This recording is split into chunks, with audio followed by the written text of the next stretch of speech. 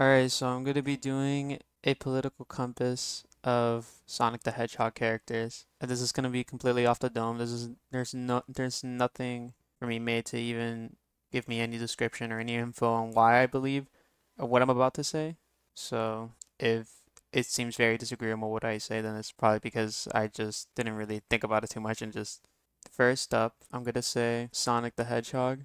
I would say he's very um I want to say he's very libertarian that's one thing. But I don't know how he would be economically. It's kind of hard for me to imagine him actually be more capitalist leaning. But I also can't find any hints of him also being like left leaning when it comes to economics.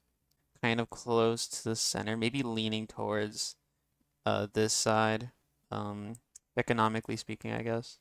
Shadow. I think he's also a libertarian. He does consider himself as the ultimate life form. Hmm. And the lore, I guess, is that he has like clones of him, and he's not sure if he's real.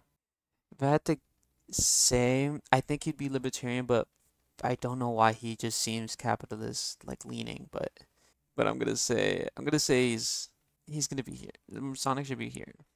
Like he's he's very libertarian. Shadows, Shadows like I don't give a fuck. And then for Tails, Tails is smart. He's supposed to be really smart. So he seems like he would probably like read a lot. When I say read a lot, it's probably already insinuating that I'm probably going to put him economically left, but I'm thinking that he reads socialist or communist literature only to be uh to be more informed in disapproving them. So he's very also right leaning. I feel like he would just be super out of pocket like if you ask him, like he's really nice when you like he's nice to Sonic or whatever.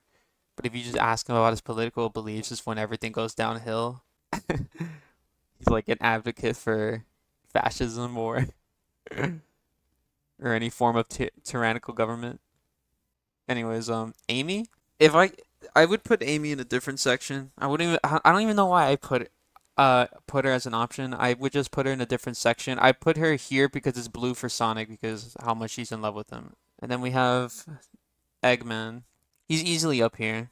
I would put Tails up down here. Amy we're just right there. He's easily right here. I mean, he literally does not.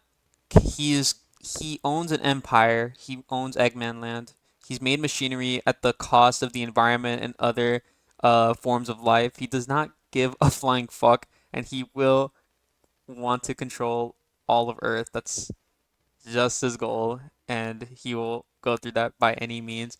Knuckles, Knuckles is very left leaning. I would say he's more he's very cooperative. He is part of a clan that's very cooperative and stand by standards uh, of their culture, which is to defend the Master Chaos Emerald. So I would say he's very left leaning, very libertarian too.